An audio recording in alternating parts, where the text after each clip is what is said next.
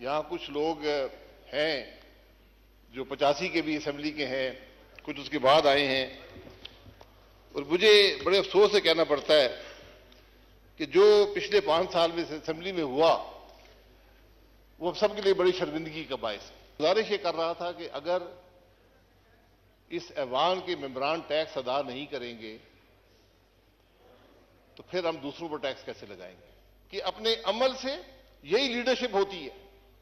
Leadership ये नहीं है कि मैं टैक्स अदा ना करूँ दूसरों पर टैक्स लगा दूँ। मोहतरम शाहिद खाकान अब्बासी साहब जनाब वाला।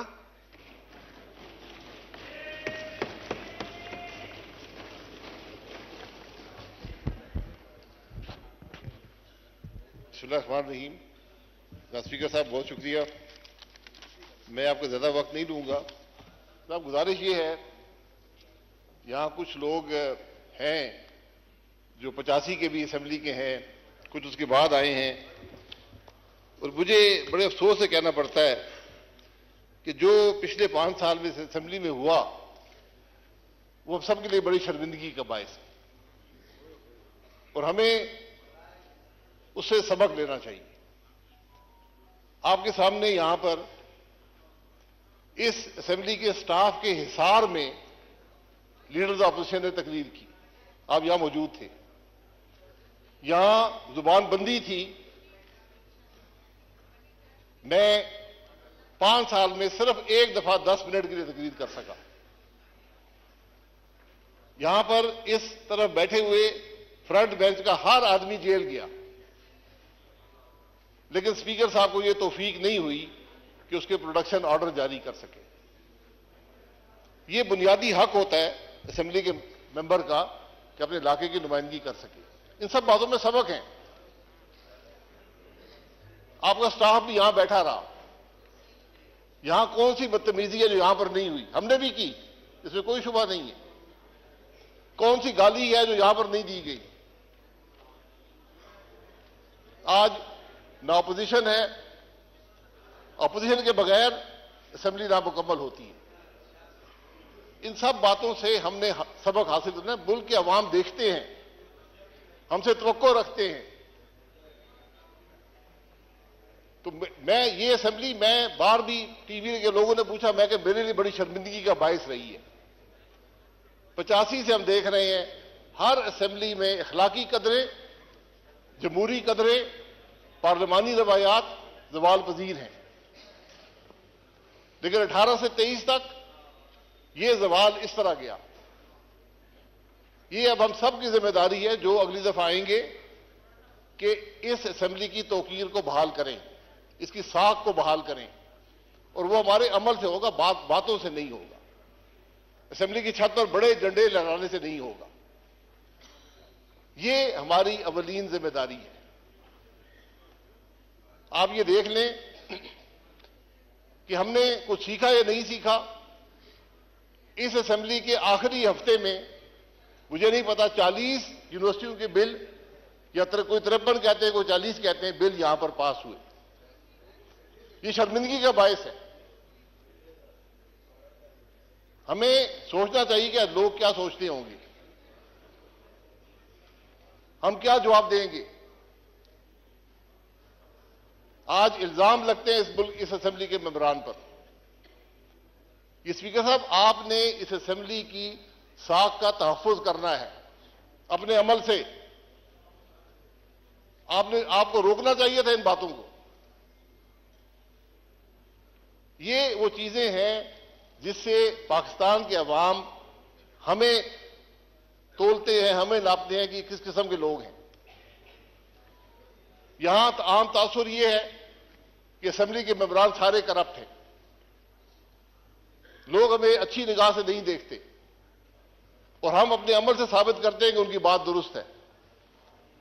असेंबली के मेंबर की तनख्वाह क्या है? ये आपने कभी बताया किसी को? क्यों? सेक्रेटरी साहब, क्या साठ हज़ार रुपया? क्या कितनी तनख्वाह है? वो अलाउंसेस डाल के है ना। तनख्वाह क्या है? आप देख रहे तनख्वाह, उससे कम है मुझे भी तनख्वाह मिलती है, मैं जानता हूँ। लोग ये समझते हैं कि अरबों रुपया ये लूट कर ले गए। ये वो चीज़ें हैं जो हमें लोगों को बतानी पड़ती हैं। क्या इस असेंबली का मेंबर अपने गाड़ी के खर्चा भी पूरा कर सकता है उस तनख्वाह से? ये सब बैठे हुए हैं। पाकिस्तान की हर असेंबली ने तनख्वाह, मैं तनख्वाह बढ़ाने की बात नहीं कर रहा, मैं एक हक, एक एक हकीकत की बात कर रहा हूँ।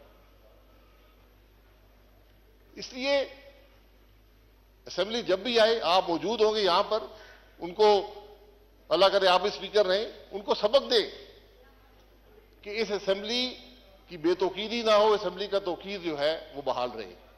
मैं पिछले स्पीकर साहब का नाम नहीं लेना चाहता लेकिन जितना नुकसान उन्होंने इस, इस हाउस को दिया है तारीख में किसी नहीं दे दी।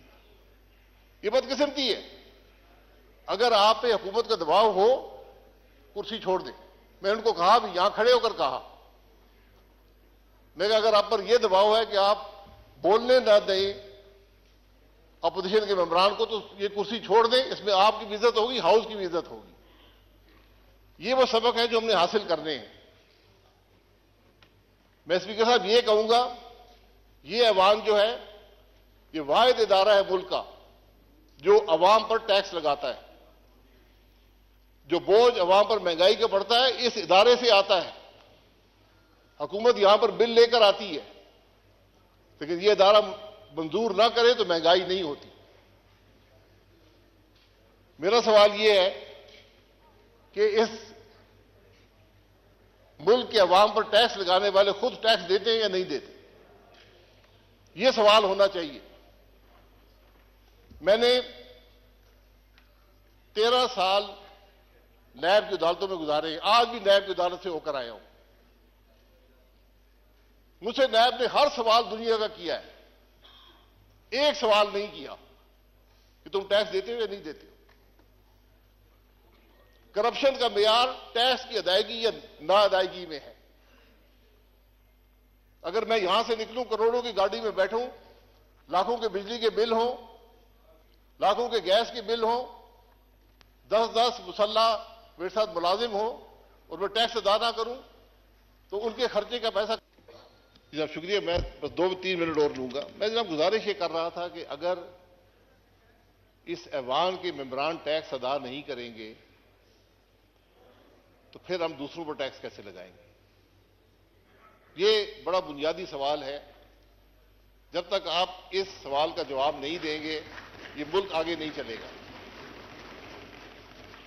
आज पाकिस्तान की वफाकी हुकूमत की जो कुल आमदन उसके पास रह जाती है, वो सूद भी अदा नहीं कर सकती।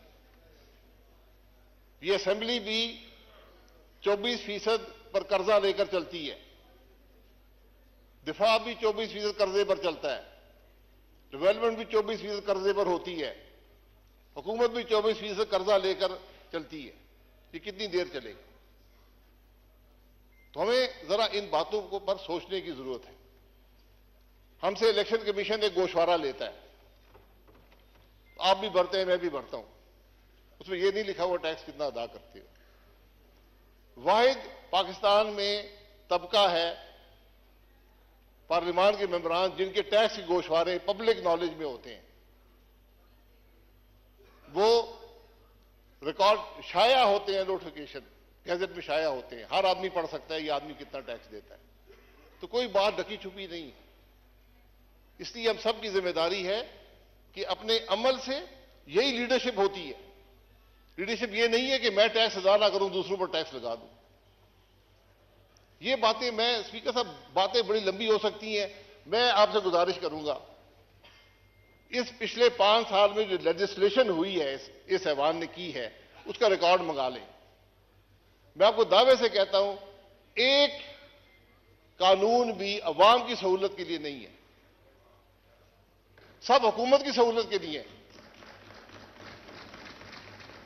ये ये शर्मिंदगी की बात है। आज आप देख लें यहाँ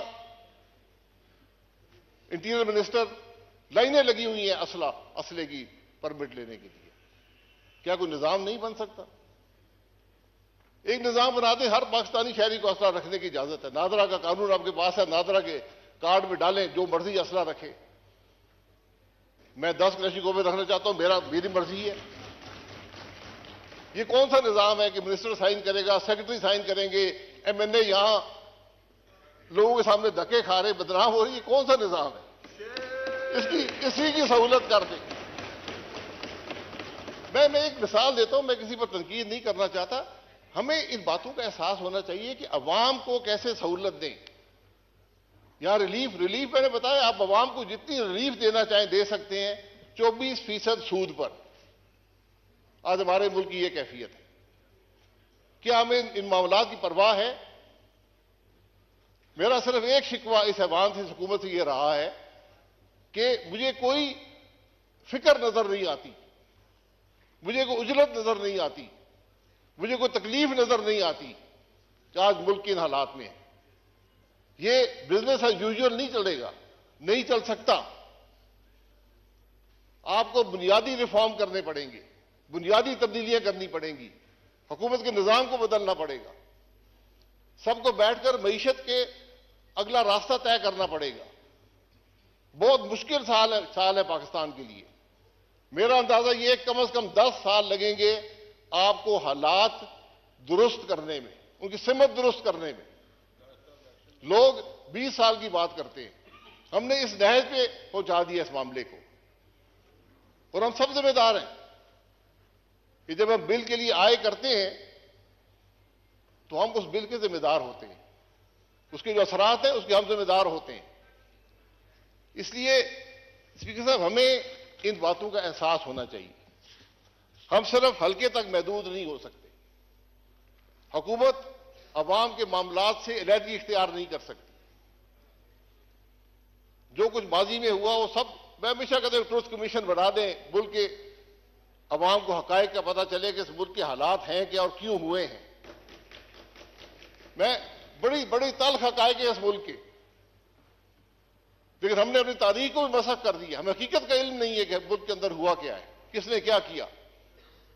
सजाएँ को छोड़े, सजाएँ, सजा, जजा अल्लाह ताला पे छोड़ दें। तो कम से कम हकायक तो आवाम के सामने रखें। ये आपका बहुत मशहूर हूँ ये चंद बातें रखनी थी, लेकिन ज़िम्मेदारी हम सबकी है। अगर हम कोई गलत काम करेंगे, गलत भर्ती करेंगे, इस अवाम के मेंबर होकर, वज़ीर होकर, हमने निज़ाम को तबाह कर दिया। लोगों का एतमाद उठ जाता है। आज अवाम का एतमाद हुकूमत के निज़ाम पर उठ गया है। आपको उसको दुरुस्त करना है। लेकिन दुरुस्त बातों से नहीं होगा, उल्टे सीधे कवानीन बनाने से नहीं होगा, अमल से होगा। ये बात जो भी कल ऐवान में आए, उनको आप ज़रूर हमारी तरफ़ से पैगाम दे कि जनाब ये बातें हैं, आप सिमत दुरुस्त करें, मामले को आगे चलाएँ, फिर मुल्क की दुरुस्ती होगी। बहुत शुक्रिया।